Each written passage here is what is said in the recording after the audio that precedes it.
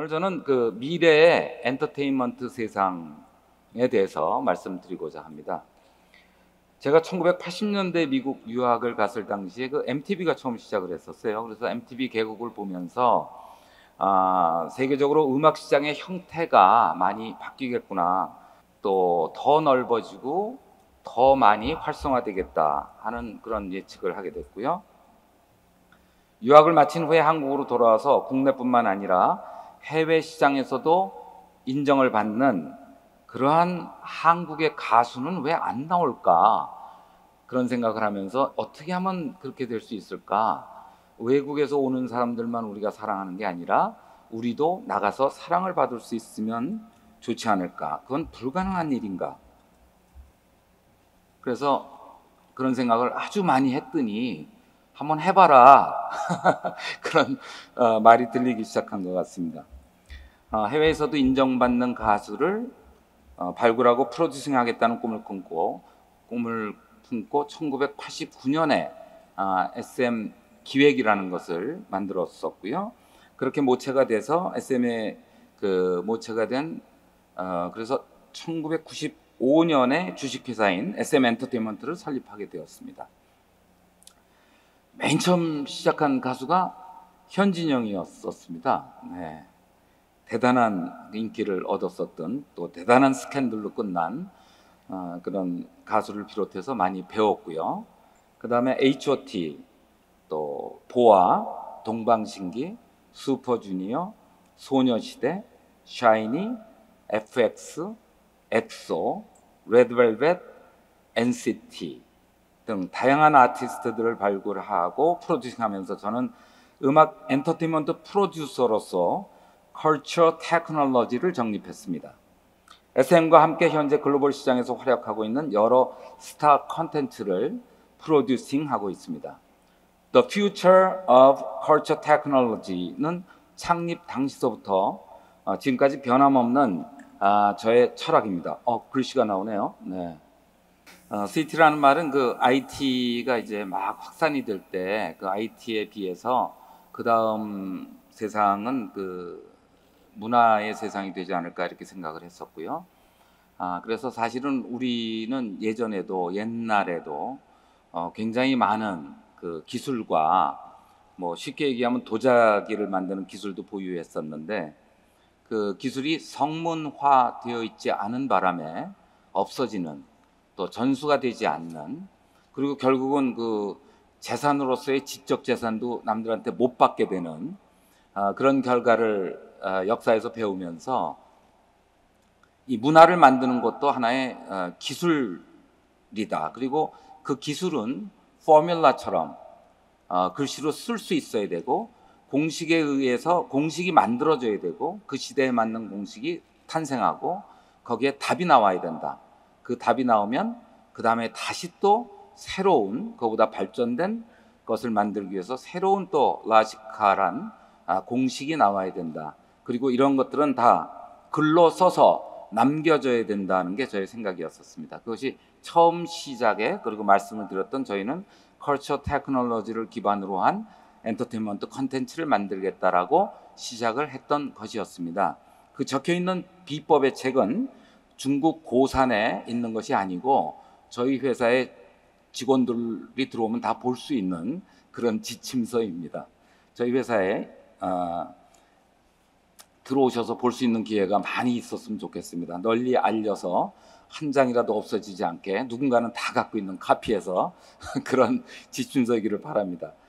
제가 프로듀싱한 아티스트가 해외에서 첫 공연을 벌이고 한류라는 그 단어가 상용화가 됐을 때 해외 팬들이 가방에 달고 온 버튼이 그 바로 태극기였었습니다. H.O.T의 콘서트에 온 해외 팬들이 그 H.O.T가 좋아서 또 한국을 동경하게 되면서 바로 중국에서 1등을 하면서 그 다음에 제일 가고 싶은 아, 도시는 서울이 바로 되는 그런 결과도 낳기도 했습니다.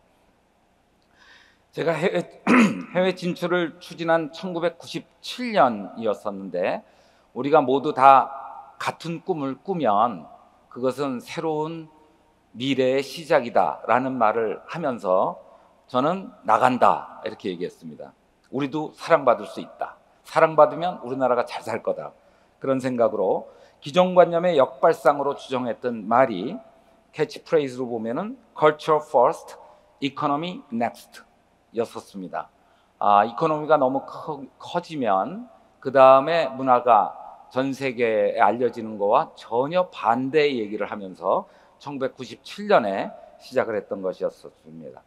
아, 문화를 통해서 국가 브랜드 또 코리아 브랜드를 만들어낸 것입니다. 오늘 자리해준 엑소의 멤버 찬열이도 국가 브랜드를 더욱 높인 주인공입니다. 엑소로 인해서 다시 한번 한국 대중음악계의 밀리언셀러가 탄생됐습니다. 음악계가 또 활성화가 더 됐고요. 전 세계적인 케이팝 열풍을 거세게 만든 주인공이기도 합니다. 찬열이가 태어나고 자란 나라인 한국에 대한 관심은 한국 관광, 음식 상품에 대한 관심으로 이어지고 있고요. 또 한글 배움 열풍도 더욱 거세지고 있습니다. 저와 그 SM은 Culture First Economy Next를 모토로 문화를 먼저 만들고 이를 글로벌 타겟에 맞게 최적화시켜서 해외에 진출해 왔습니다. culture technology 즉 CT는 컨텐츠를 만드는 기술로서 캐스팅, 트레이닝, producing, 매니지먼트로 세분화하고 체계화해서 최고의 아티스트와 컨텐츠를 만들어 왔습니다. 오랜 시간 동안 대한민국의 뛰어난 아티스트와 프로듀서, 엔터테인먼트계 숨은 조력자들 그리고 팬들의 무한한 사랑과 신뢰로 한국의 음악이 케이팝으로 불리우면서 한류라는 문화 현상을 만들게 됐습니다. CT를 통해서 또 SM을 넘어서서 어쩌면 한국의 프로듀싱 시스템이 이제부터는 주목받게 되기를 그리고 케이팝은 세계가 주목하는 바로 우리의 음악 새로이 불리울 수 있는 종합 예술 컨텐츠가 되었습니다. 그렇다면 앞으로 미래는 어떻게 될 것인가 질문을 던진다면 저는 미래는 여러분들도 잘 아시는 AI와 AI와 celebrity의 세상이 될 것이라고 이미 선언한 바 있습니다. 대중은 항상 celebrity에 관심을 가지고 celebrity의 모든 것을 알고 싶어 합니다. 산업의 발달과 디지털 device, 인터넷 플랫폼의 발달로 인해서 celebrity의 컨텐츠뿐만 아니라 다양한 라이프 스타일 컨텐츠까지도 거의 전 세계가 동시에 즐기게 되었고 이러한 컨텐츠의 향유 방식은 더욱 다양해질 것으로 보입니다.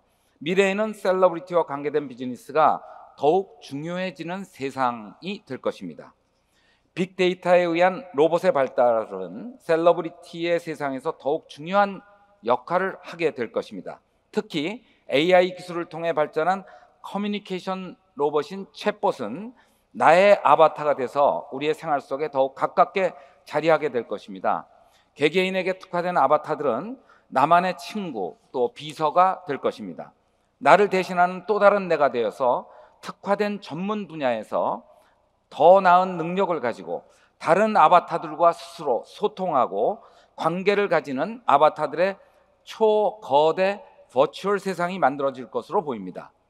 아, 이러한 세상에서 한국처럼 인구는 적지만 early adopter가 유난히 많은 우리와 같은 나라가 하나의 인격권을 가진 아바타들이 한 사람당 여러 명의 AI brain 아바타를 소유하게 된다면 어쩌면 우리의 약점이기도 한 인구 5천만 명이 아닌 5억 명 이상 더 나아가 인구 대국인 나라들 이상의 힘을 발휘하게 되는 세상이 바로 코앞에 있다라고 얘기하고 싶습니다.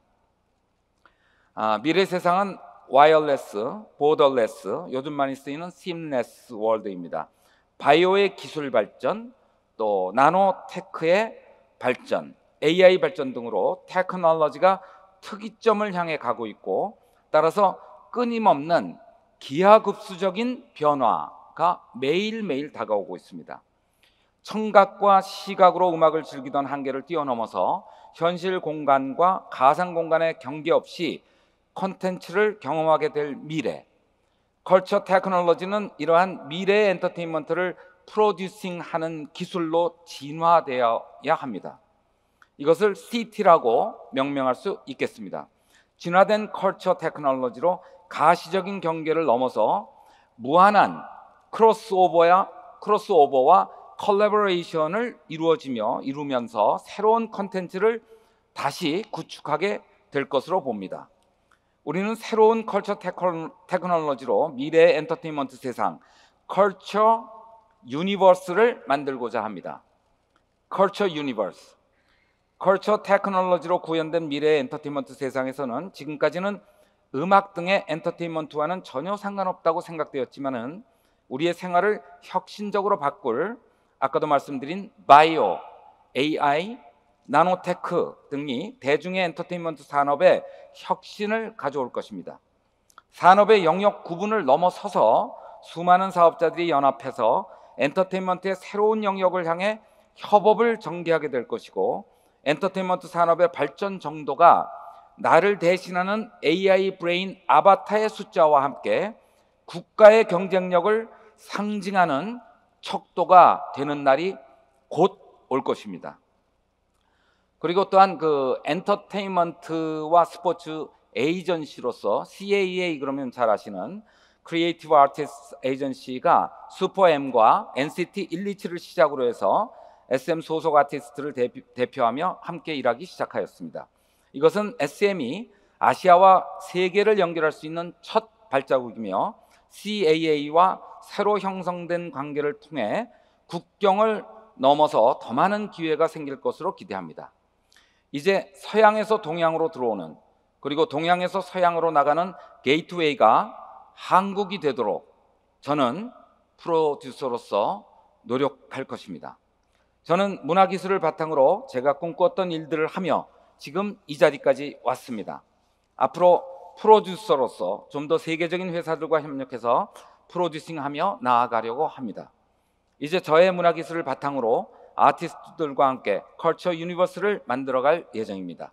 많이 관심 가져주시고 우리나라의 핵심 경쟁력이 될 수 있는 프로듀싱 그리고 문화 사업에 더 많은 지원을 부탁드립니다. 또한 앞으로 우리가 지닌 음악이라는 종합 예술 컨텐츠의 힘을 잘 활용하는 것이 중요하니까 저는 프로듀서로서 미국, 중국, 일본, 태국, 인도네시아, 베트남 등에 직접 나아가서 그 나라가 지닌 음악 문화를 우리나라의 강력한 힘인 K-팝과 함께 더욱더 성장시키고자 합니다.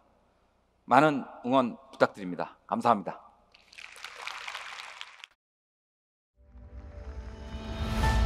The World Knowledge Forum